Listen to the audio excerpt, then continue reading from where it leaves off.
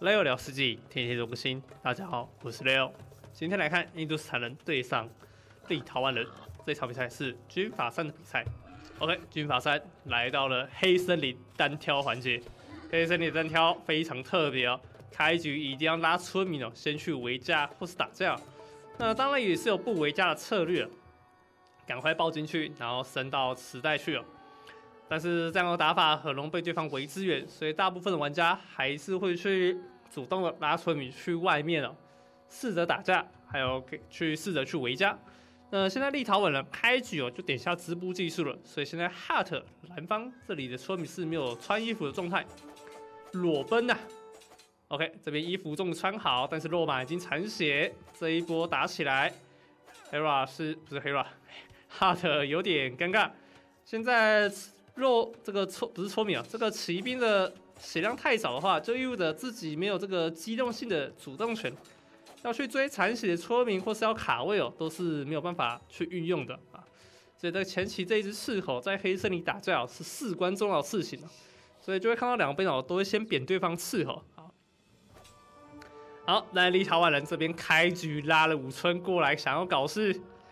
黑森林开局就是这么的粗暴啊，粗粗暴吗？啊，好好，看来不只是五村诶，哇，是六村。好，射掉了三头鹿。好，三头鹿射掉之后有什么打算呢？好，现在哈特没有打算要理的意思，回去稳稳采资源，拉了野猪，好射掉，还好没有减三百四十。好，然后先把自己的猪给找回来，不然被对方给拿回去就尴尬了。好，这里又扁到了一拳，伺候圣武滴，这里要小心。好，这里走过来，T C 可以射，哇，射一下，立陶宛这里躲掉了一些伤害。好，直接手撕模仿，立陶宛这里没有打算上封建。好，直接先扁女村民，后面男村民也被包抄，所以绕了更多人过来。黑色你单挑，往往就是这么的可怕。好，那如果遇到这种拉村民过来打架的话，防守方要怎么办呢？其实最好的办法就是拉一些村民去应对，他拉个七只，你就拉个三只或四只或两村，啊，去稍微看一下他在干嘛啊，让他跟你的村民一直打架，但你的村民哦，大多数还是在采资源的，那资源总量啊，你不可能输给对手，而且这边立陶宛还出现了失误，会被抓到两村。那由于自己的村民可以很快补到城镇中心里，就可以拉血量多的村民过来继续打架。当持续打久的话，立陶宛这边啊是会越打越亏的。所以这个就是黑森林防守对方直接村民报名流的打法，就是跟他对干就对了。反正你的城镇中心离自己比较近啊，怎么打你都不会到太亏，你随时都可以撤退啊，随时都可以。去退出战场，让自己村民活下来。这个就跟创业跟投资一样啊，你投资股票可以随时断头，那你创业的话，去开公司就很难随时可以把公司给卖掉啊。那在《世纪帝国》里面的黑森林的攻防战就有这么一点感觉啊。只要利用这个原则，基本上你就不会输得太惨啊。好，那我们看到立陶宛这边是马上补下了一些木墙，准备来去把这个地方给围起来啊。但是 Hart 也看到对手回去了，好，也确定对手开始在围架，那自己也稍微围一下。那现在 Hart 最害怕的事情就是自己的资源点被围啊，路被射掉就算了啊，反正黑暗也是能种田啊，先种个田，待会要来升职城吧啊，看起来经济是要职城。那如果没有鹿肉情况下，二十七 P、二十八 P 再升上去会比较稳定哦，尤其是前期又有打架的情况下，村民数大概二七、二八，好。再升可能会比较容易撑得上去直城的部分。好，那这边是选择了二十八批。哇，这里还有一只野猪没有吃完啊。好，这边选择了二十八批，哇，非常晚的一个批数。呃，照理来说，哈特的经济应该是可以二十七或二十六就上了啊，因为他前面有种田，肉类不太会太缺乏。好，没关系，我们看一下两边封建时代怎么打。那哈特这边有一个小小的细节没有做的很好，就是这里的防木墙啊没有删除掉。这十个木墙呢，等于五十个木头。这五十个木头可以拿回去升级一下科技啊，或者是去盖个房子，把这个木头配的再更少一点，然后去把这个肉吃一吃，把，它升级就会可能会再更快一点啊。啊，当然这个就是细节中的细节的部分啊。好，那哈特这边是决定要来打慈城，补了一个马厩跟上面一个市集，但是立陶宛这边是选择了封建打工兵。呃，目测来看的话，有可能是一个塔公公啊，插塔，然后配弓箭手，因为这里有挖金矿啊。好，这里一击伐木也点下了，马厩按一下落马了，先按一下时代的升级，四级还没盖好。好，已盖好四级，TC idol 以下点一下城堡赛，那这边漏嘛就可以先按一些了，或是先点个品种。下面部分再稍微维持，看起来问题不大。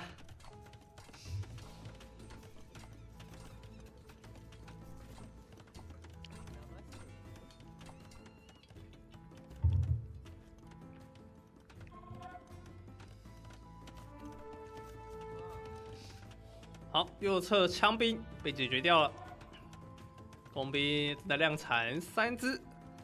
好，但是印度斯坦这里也是按落马了。那为什么这个时候按落马？最主要是因为印度斯坦这时候方能反击对方的方法并不多，有一些落马在的话，也可以比较能应对待会会遇到的情况。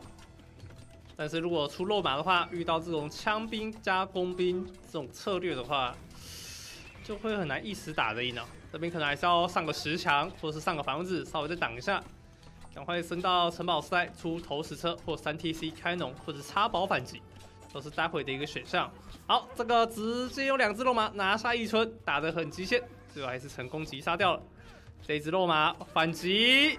哇，残血肉马又再度拿下。好，两边一个对盖塔，但是现在对手的立陶宛的村民只有一个人在盖啊，还是这里要拉更多村民去盖一下呢？现在三只肉马一直在后面溜，好，但是立陶宛选择了放弃。也就是坦这里没有拉这么多村民来盖，是因为要放弃盖这根箭塔吗？这根箭塔盖起来有点可惜嘞。一百二十五石头除以二啊，大概哇靠，真的取消了，大概是五十五木头，五十五石头，只拿回来这些资源。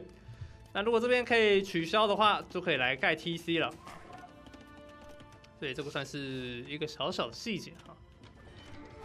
好，后面补了一个兵工厂，落马最后还是被戳掉，工兵也是顺利收下。好，这里补了大石墙，但是这里还没有补。那这些村民过来之后就很难补石墙了，看要要不要后面再补个四级啊，或者再补个房子啊，距离远一点，让对方工兵射不太到，就可以安全的把房子给盖起来。好，那目前对方还在封建时代，封建时代要升到城堡还需要一点时间，肉依旧不够，要赶快去撒农田。不然要多多利用这些黑色的野味哦，啊，这个野味多吃一点啊。像这个地方都还有果子可以吃哦，但是果子的话建议还是不要，采集效率比较太差。是有猪哦，野外的猪还是可以吃一下的啊。好，这里是补了一个工程器制造所，那待会出个弩炮，哦，这个出头石车更凶啊。好，家里转了一些骆驼，印度斯坦的骆驼攻击速度。非常快速啊！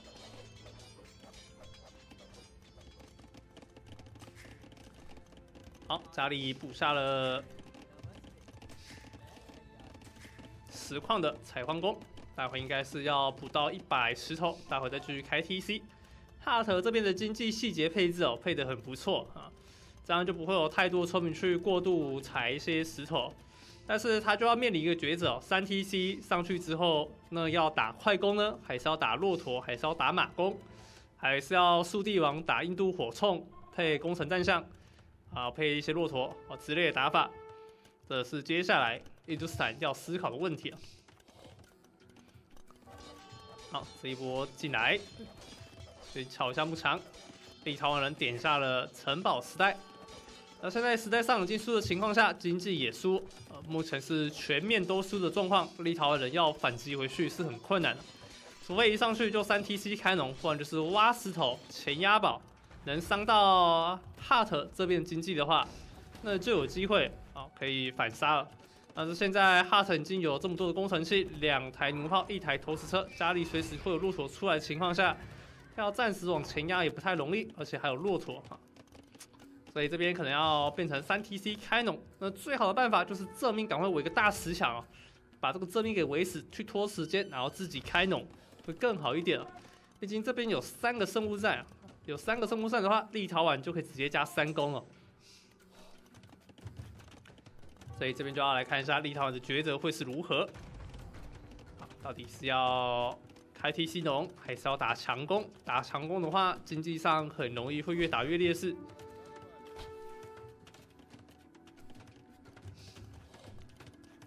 好，补了一个马厩，哇，遇都印遇到印度斯坦还转马厩，这个很大的勇气，哇，还按肉马。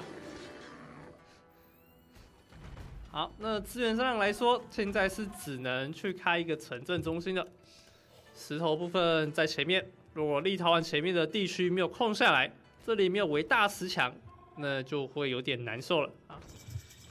因为待会的防守面积会变得非常大，要从守这里到守这里，然后正面 T C 的联防石头只有一块，不管怎么防守，对哈特来说都是比较轻松的，只要这块地区有守住的话啊。好，立陶宛点下了轻骑兵的升级，锻造技术也升了，哈特则是转了一个轮轴，补了一下经济。但是双 T C 开农，六个人挖石头，看来是想要出兵压宝，直接把立陶宛一波带走的策略啊。好，这边中有一只僧侣，可以帮忙过来补一下血量。好，这里拆除所有的军事建筑物。哇，这个偷车砸了一发，骆驼有点残血了。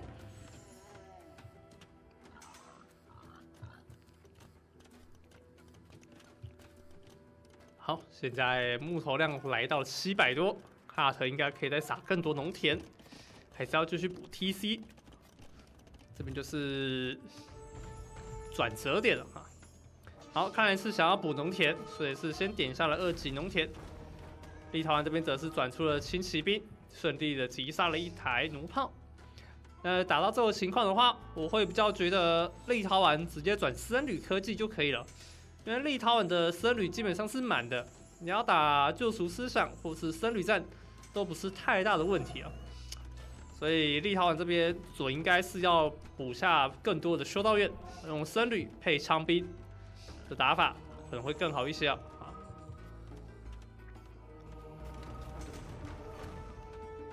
好，但是这边反而是。印度斯坦被压制打的感觉，投石车想要第一时间收掉，枪兵直接上去往前戳，戳掉非常多的骆驼，但骆驼用着自己的攻速加成，直接正面击破。哈特这边直接打烂立陶宛这边所有的军事单位，剩下一只骆驼残血可以收掉吗？制敌，哇，没有制敌到，他可能觉得不会被招降，结果还是被招走了。此战过后，两边的军力都来到了五五开左右。但是经济方面可不是五五开了，现在是六十七村对五十村，但是立陶宛也是三 TC 开农上去了啊。哈特这边也是，好，果然是要走一个开农路线，补了二农，开 TC 继续农上去。好，本来想要压宝，但是现在城堡只能补在了这个城门的后面。那立陶宛此战之后就可以稍微喘息一下，僧侣再补多一点会比较安心了。好，那暂时应该不会有大型的打斗。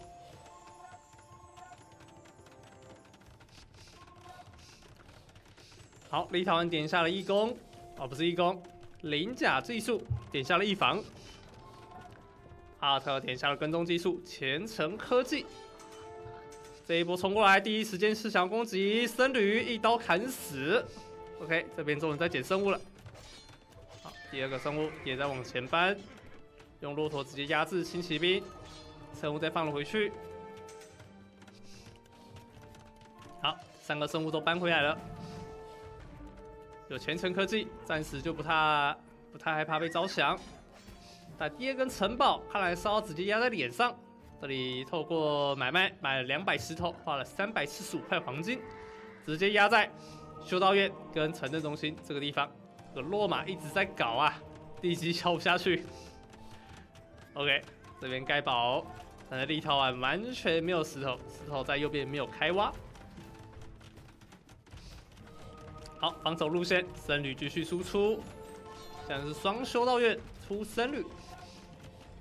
好，僧侣还是有点效果，用招抢到的僧侣去攻击后方的僧侣吗？结果是选择了自低。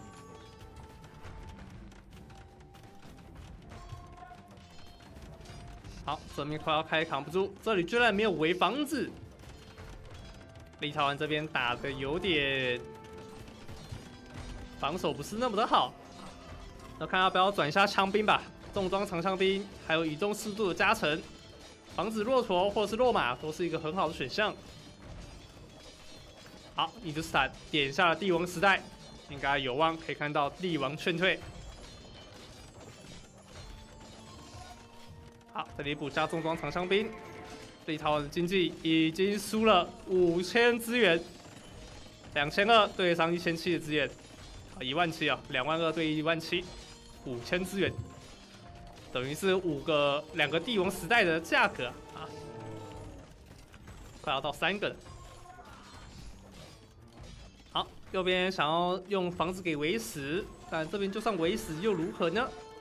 哈特的经济非常的优秀，而且待会三个生物也没有办法很好保存，要是三个生物都放下面的话，就不会被对方给干走了。啊，立陶宛只要损失这三个生物，可能后期也没得打。猎骑士跟骑士都不能加攻击的状况下，会越打越惨哦。虽然应该打印度斯坦，要打出猎骑士可能很困难啊。还是整个大枪兵吧，大枪兵，然后配上自己的火枪火炮，还有自己的僧侣战，都是。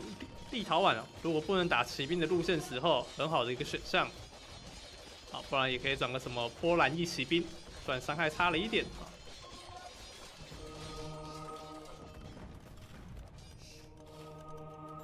好，照想，哇，结果这里有一二三四五六六只僧侣招想到的关系进入了 CD 状态。